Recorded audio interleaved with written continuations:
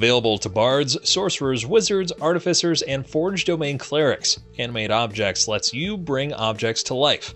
We'll get into the 16 uses for Animate Objects momentarily, but a few key use clarifications first about this 5th level concentration spell. When you animate an object, while technically you command the creatures, to help prevent the rest of the table from getting bored, have them do the rolls for your tiny or small objects keeps them engaged, and while you're still doing the command, they can take on the personality of the item itself.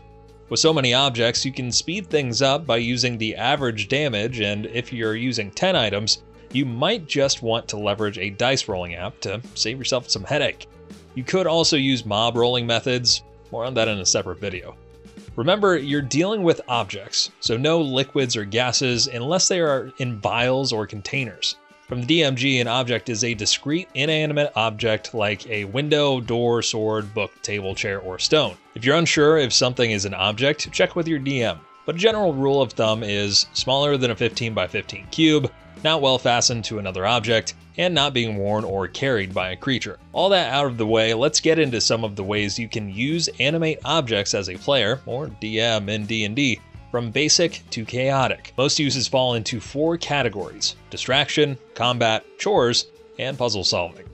Enough chatter, and on to the uses. Act out your Fantasia fantasies and party hard while brooms and other objects do your chores for you as long as those chores only take a minute to complete. Distract commoners by rolling gold pieces down the street. Up to you whether the coins do damage once grabbed. From Dr. Elmtree, fulfill the prophecy of the dread gazebo and animate what was once only a stationary misunderstanding. Open a portcullis or heavy metal doors that block your way. Roll a bunch of boulders into a barrier formation to take cover from the baddies. The inverse, if the baddies are hiding in an area of animatable objects, have the objects turn on them and begin to beat them senseless. Make several scarecrows and deck them out to look like the party. Have them march through guarded areas, drawing folks away from doors and giving you clear entry. Build your own cloud of daggers and chase after all of your enemies, dealing slashing damage as you go. From I gaslight your enemies by moving furniture around quickly while you yourself stay in place. Animate an entire wagon and crash it into foes, barricades, or stop a wedding. Have a sneaky little artificer hiding in the walls that animates any chest the party gets near so they think it's a mimic, teasing them into destroying the chest and the goods inside. Pretend a house is haunted to scare off bandits or squatters. Launch 10 projectiles into a room to find an invisible enemy using their blind sight. Lay out 10 bombs from your adventuring gear and send them off towards your enemies each with a 1 minute fuse. The bombs do 3d6 fire damage to anyone within 5 feet once they explode, so technically as long as they are not attacked themselves, they could probably do the tiny object 1d4 plus 8 damage for 1 minute of concentration and then explode at the end. Staying on the explosive side of things, if you have 10 sticks of dynamite, you could have them do the same thing as the bombs, 3d6 bludgeoning damage instead of fire,